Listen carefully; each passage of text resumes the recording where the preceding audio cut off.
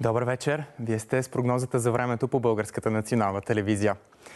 Още близките часове в много райони, главно в западната половина от страната, ще започнат валежи, които ще продължат все сила и през нощта, както и утре. По-значителни количества до около 60 литра на квадратен метър се очакват в крайните северо-западни райони, а в източна България, където валежите ще са слаби и само на отделни места, ще бъде много ветровито, успориви на югозападния вятър до близо 90 км в час.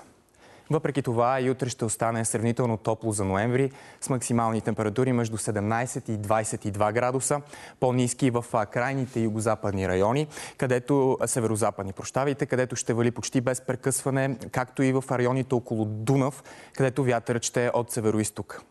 На морския бряг облачността ще е значителна, но слаби валежи ще има само на отделни места. Ще духа умерен и силен югозападен вятър, а вълнението на морето ще се усили до 3-4 бала. Облачно и мъгливо ще бъде времето в планините. Ще има и валежи, като границата между дъжд и сняг ще бъде на около 2200-2300 метра над морска височина. Ще бъде много ветровито с силен и бурен югозападен вятър. Максимални температури в курортите от 7 градуса на Алеко до 13 градуса в Банско. Не само у нас, но и в по-голямата част от континента ще се задържи предимно облачно с валежи от дъжд и грамотевици на британските острови във Франция и Италия, също и над Средиземноморието, а сняг ще вали на места в Северна и Източна Европа.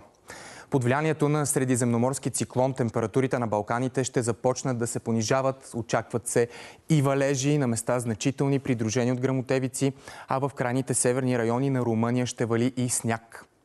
У нас близките дни ще се задържи сравнително топло за втората половина на ноември, но времето ще бъде динамично, ветровито, с временно интензивни валежи от дъжд, основно в равнините райони.